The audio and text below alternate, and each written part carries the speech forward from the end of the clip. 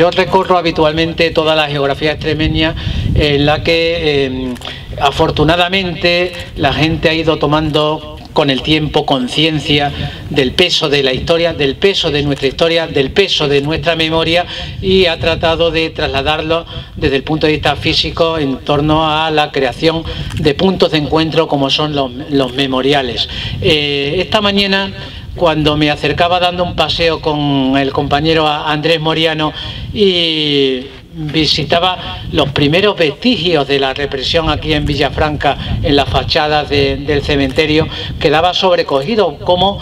todavía hoy eh, tras sucesivos encalamientos de, los muros se podían observar los, restos de, los, fusilamientos. Y ahí, ahí deben quedar, ahí deben quedar para que las sucesivas generaciones los podamos eh, ir viendo. Eh, luego, dando un paseo, he llegado hasta, hasta el memorial y me ha sobrecogido ver el elevado número de eh, vecinos y vecinas de Villafranca que sufrieron la represión, eh, algunos eh, apellidos muy conocidos, algunos muy próximos a, todos y a todas nosotros. Y sobre todo le, estaba comentando a otro de nuestros compañeros que me ha llamado mucho la atención el hecho de que mm, podéis haber recogido el testimonio de algunos eh, villafranqueses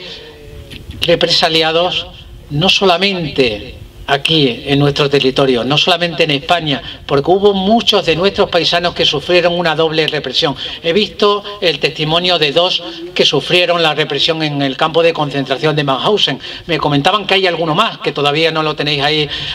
ahí, señalado. Y es que mm, eh, junto con la Armes, y a la que nunca estaré suficientemente agradecido, eh, está rondando sobre mi cabeza una iniciativa parlamentaria para que de una vez por todas hagamos un reconocimiento a los mm, cientos de extremeñas, a los cientos de extremeños que sufrieron la represión, la doble represión, la represión en los campos de concentración nazi, que sufrieron la guerra civil, que escaparon de la guerra eh, en España, que se fueron al exilio y que allí cayeron en las garras del otro fascismo, del nazismo, y muchos de ellos dejaron su vida en los campos de, concentración. Se lo debemos. Y vosotros ya habéis comenzado, y prueba de ello es el testimonio que acabo de ver en este eh, memorial de Mauthausen. Mirar, no me voy a extender mucho porque deben hablar eh, mis dos compañeros, pero sí que mm, quisiera hacer una, una reflexión. A mí me parece muy bien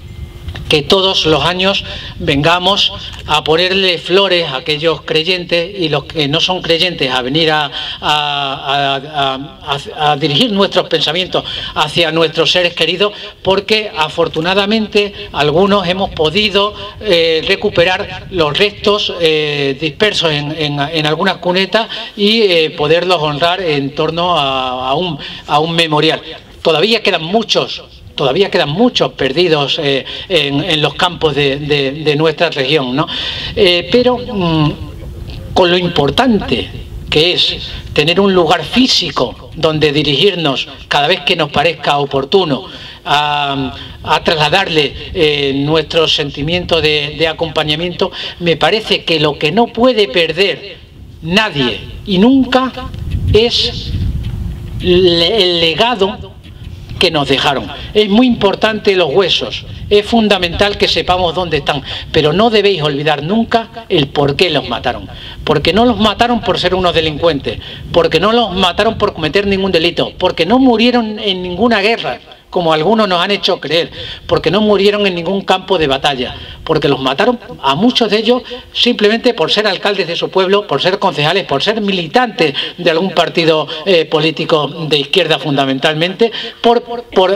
trabajar por mejorar las condiciones de vida de sus vecinos o eh, en algunas ocasiones incluso más ruines por diferencias personales. Y eso es lo que nunca debemos olvidar. Tenemos que trabajar trabajar y trabajar por recordar que dejaron un legado muy importante para nosotros, no solamente la democracia, no solamente la libertad, sino que ellos lucharon como ahora está luchando Ramón para combatir el paro. porque ellos vivieron una época tremenda, mucho más terrible que la que estamos viviendo ahora, la crisis de los años 30, porque aquellos se dejaron la piel en dar trabajo a sus vecinos, porque ellos construyeron escuelas, porque ellos construyeron, eh, asfaltaron las calles, porque ellos eh, trabajaron por mejorar las condiciones educativas y sanitarias eh, de, sus vecinos. Y el pago que tuvieron muchos de ellos precisamente fue una, eh, una inscripción en un memorial de un cementerio. Por eso, insisto una y otra vez, en, cada vez que puedo, que es muy importante saber dónde están los restos de nuestros seres queridos, pero es mucho más importante que jamás, que jamás olvidemos por qué murieron. Y murieron por nosotros porque hoy yo pueda libremente decir lo que me parezca, porque hoy pueda recordarle, porque hoy pueda poner en valor eh, poner en valor el ejercicio democrático que ellos tuvieron y porque hoy pueda de verdad que puede eh, para algunos resultar duro decir que yo estoy aquí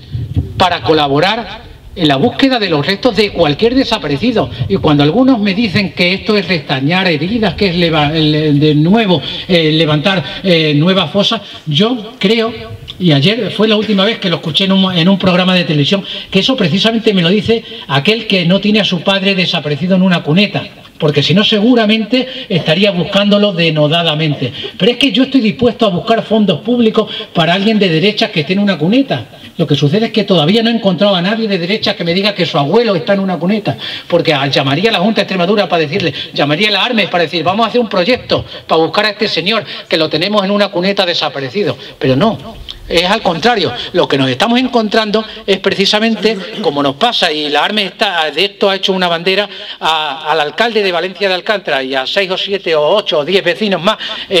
eh, en, una, eh, en una mina, en una propiedad privada, que no nos dejan entrar a por él que no nos dejan entrar simplemente a sacar sus restos. Eso es lo que nos estamos encontrando. Y, no como nos vienen a, comentar una y otra vez, que hombre, que a ver si cerramos de una vez esto. Y vuelvo a repetir, enlazando un poco con el principio de mi intervención, que me parece fundamental que tengamos paz, que tengamos tranquilidad, que recuperemos los restos de nuestros seres queridos, que todos los años podamos reunirnos en torno a este memorial. Pero me parece todavía mucho más importante que en actos como este nos acordemos de qué hicieron, de cuál fue su trabajo, de por qué murieron, de qué nos han dejado.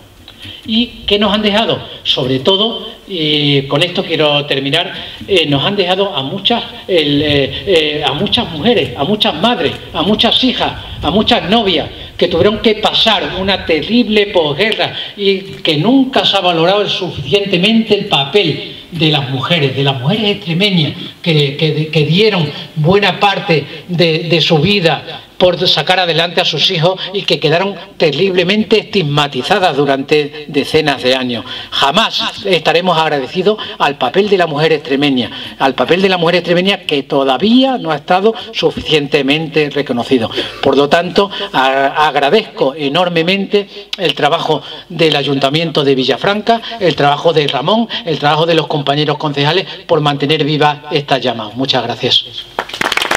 Doy la palabra a Daniela Rocha Miguel e Corbatti.